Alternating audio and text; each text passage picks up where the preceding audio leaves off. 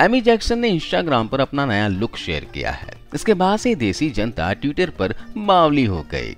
Amy Jackson के look को देखकर कुछ लोगों को ओपन के क्लियर मर्फी की याद आ गई। कुछ फैंस को उन्हें देखकर काली जेनर की भी याद आ गई। बीस सितंबर बुधवार को एमी जैक्सन ने सोशल मीडिया पर कुछ तस्वीरें शेयर की। एक वक्त ऐसा था जब एमी जैक्सन नेशनल क्रश हुआ करती थी। अब इनकी तस्वीरों को देखकर फैंस का दिल सौ टुकड़ों में टूट गया।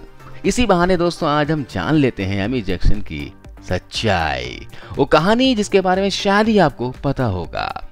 आइए वीडियो शुरू करते हैं। दोस्तों, एमी का जन्म 31 जनवरी उन्नीस को डगलस आइल ऑफ़ मैन में हुआ।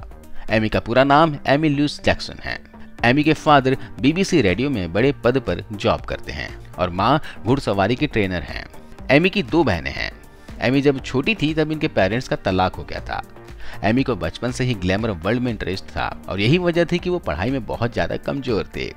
खुद एमी के अनुसार जब वो तेरह साल की थी तो पढ़ाई से बचने के लिए इन्होंने एक बॉयफ्रेंड बनाया और इसके साथ में स्कूल बंक करके अपने बॉयफ्रेंड के घर जाकर दोनों गुलछर्रे उड़ाते। लेकिन कुछ समय के बाद स्कूल टीचर ने अटेंडेंस पूरी ना होने पर इसके घर पर इन्फॉर्म कर दिया। तो इनकी माँ और इनकी बड़ी बहन ने इसे इसके बॉयफ्रेंड के साथ उसके घर पर रोमांस करते हुए रंगे हाथों पकड़ा। ये बात इन्होंने खुद एक इंटरव्यू के दौरान बताई थी।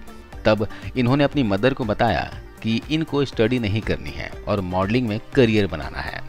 इनकी माँ ने करियर बनाने की तो छूट दे दी, लेकिन साथ में यह भी कहा कि पढ़ाई करते रहो। इसके बाद एमए स्टडी करती रही और पढ़ाई करते करते इन्होंने ब्यूटी कॉन्टेस्ट में पार्टिसिपेट किया। Miss teen Liverpool miss teen Great Britain और मिस्टीन वर्ल्ड, ये तीनों खिताब इन्होंने एक के बाद एक जीते। मिस इंग्लैंड 2010 कॉन्टेस्ट में ये दूसरे नंबर पर रही। मिस इंग्लैंड कॉन्टेस्ट से एक साल पहले से ही इन्होंने मॉडलिंग करना शुरू किया था। मॉडलिंग के सिलसिले में एक बार इनको भारत आना था, लेकिन इन्होंने भारत आने से मना कर दिया। क्योंकि इन्हें लगता था कि भारत एक गरीब देश है और यहाँ के माहौल में वो फिट नहीं बैठ पाएँगे। लेकिन 2010 में ब्यूटी कॉन्टेस्ट के दौरान ही साउथ के एक फ़िल्म मेकर जिनका नाम है ए एल विजय, इन्होंने इनको देखा और अपनी फ़िल्म मद्रास पट्टीनम में काम करने का ऑफ़र दिया। इसके बाद एमी ने उस फ़िल्म में काम करने के लिए एग्री हो गई। इसके बाद इसे अगले दो साल तक भारत में कोई काम नहीं मिला। लेकिन तमिल फ़िल्म मद्रास पट्टीनम के बाद ये वापस अपने देश भी नहीं गई। उसी समय इनका अफेयर सुरजीत टंडन नाम के एक शॉर्ट टाइम फ़िल्म प्रोड्यूसर के साथ में हुआ था। हालाँकि इनका अफेयर बहुत ज़्यादा लंबा नहीं चला, लेकिन इस अफेयर के सहारे एमी को फ़िल्म इंडस्ट्री के बारे में थोड़ा बहुत नॉलेज हो ही गया था। साल 2012 में इससे पहली हिंदी फ़िल्म मिली। फ़िल्म का नाम था एक दीवाना था और इसमें एमी लीड रोल में थी। इसके साथ में थे प्रतीक बब्बर इसी फ़िल्म से एमी ने सुरजीत टंडन को बाय बाय कर दिया था और प्रतीक बब्बर के साथ में रिश्ता जोड़ लिया।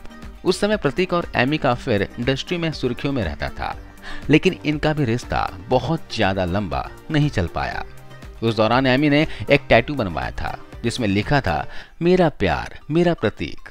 वही प्रतीक ने भी सेम टैटू बनवाया था, जिसमें लिखा था, मेरा प्यार, मेरी एमे।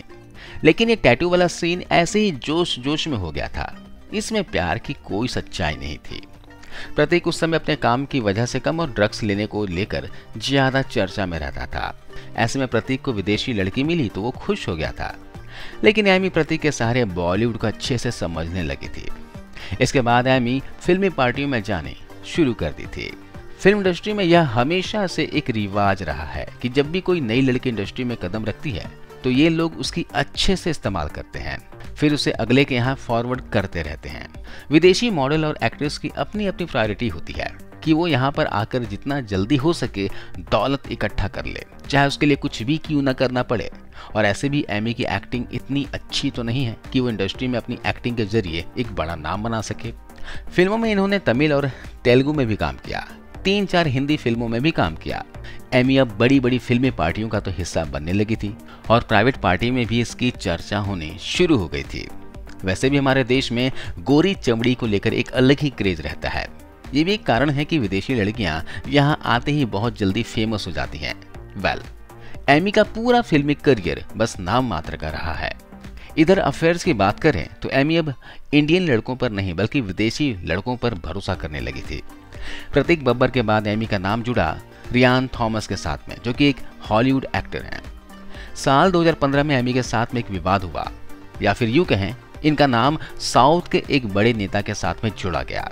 उस समय इनके नाम पर कई आर्टिकल भी लिखे गए थे कि एमी नेता के फार्म हाउस पर एक प्राइवेट पार्टी के दौरान एक हफ़्ते तक रही। इसके साथ में कुछ और विदेशी मॉडल भी थी, और ये सारी मॉडल्स और एक्ट्रेस पार्टी में एस्कॉट के हैसियत से गई थी। जिनका काम सिर्फ़ नेताओं को या यूँ कहें, जो पार्टी में मौजूद था, उसे मज़ा देना था। ये खबर एक समय बहुत ज़्यादा सुर्खियाँ बटोरी थी, लेकिन जल्दी ही मीडिया से गायब कर दी गई, क्योंकि इस केस में जो भी लोग शामिल थे, वो बहुत बड़े नाम थे। एमी हॉलीवुड एक्टर रियान के बाद एक ब्रिटिश बॉक्सर के साथ रिलेशन में आ गई थी। जब ये दोनों रिलेशन में थे तो इंग्लैंड में एक पार्टी के दौरान दोनों नशे में धूत थे। पार्टी के दौरान इन दोनों की आपस में लड़ाई हो गई और उस बॉक्सर ने एमी को सबके सामने खूब मारा, जिस वजह से एमी को बहुत ज़्यादा चोटें आई। हालाँकि इसके बावजूद भी इन्होंने कोई पुलिस केस नहीं किया था। एक समय में ये अपने बॉयफ्रेंड के साथ में विदेशों में मौज कर रही थी और दूसरी तरफ़ बॉलीवुड में एक्टिव थी, फिल्मी पार्टियों में और प्राइवेट पार्टियों में। इनका जो अगला बॉयफ्रेंड था, बॉक्सर के बाद में, वो भी एक ब्रिटिश बिजनेसमैन था और इंग्लैंड के अंदर सबसे अमीर लोगों में से एक है। इनका नाम है जॉर्ज। जॉर्ज के जो फादर हैं, वो बहुत अमीर आदमी हैं और खुद जॉर्ज लग्जरी होटल का मालिक है। जॉर्ज जैसा अमीर इंसान जब एमी के हाथ में आया तो उसके साथ लिव इन में रहना शुरू कर दिया और नौ महीने में ही एमी ने एक बच्चे को जन्म दिया। वो भी बिना शादी किए। ये खबर भी मीडिया में बहुत सुर्खियाँ बटोरी। लेकिन जॉर्ज शादी करने के मूड में बिल्कुल भी नहीं था। इसके कुछ समय के बाद ये दोनों अलग हो गए। लेकिन कहा जाता है कि जॉर्ज ने अलग होने पर एमी को छह करोड़ डॉलर दिए। इसे इंडियन करेंसी में देखा जाए तो लगभग 500 करोड़ रुपए होते हैं। एमी के बारे में बात करें तो वह अब अमेरिकन एक्टर एड वेस्टविक के साथ में लिव इन में रह रही हैं और बॉलीवुड की लग्जरियस पार्टियों में एक्टिव रहती हैं। रही बात फ़िल्मों की तो साल 2018 में रजनीकांत की 2.0 में आखिरी बार दिखाई दी थी।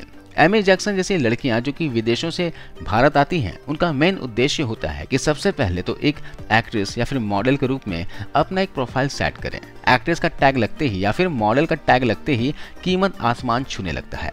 चारों तरफ़ पैसों का बौछार होने लगता है। और ऐसी एक्ट्रेस की जिनकी प्रोफ़ाइल होती है, इसके दम पर विदेशी एक्ट्रेस को या फिर विदेशी सेलिब्रिटीज को आसानी से अपने जाल में फंसा लेती हैं। क्योंकि इनकी एक प्रोफ़ाइल होती है कि ये इंडिया की सुपरस्टार है। एमी ऐसी अकेली विदेशी लड़की नहीं है, ऐसी बहुत सारी हैं जो अपने नाम के सहारे करोड़ों कमा रही हैं। तो आज इस वीडियो में बस इतना ही।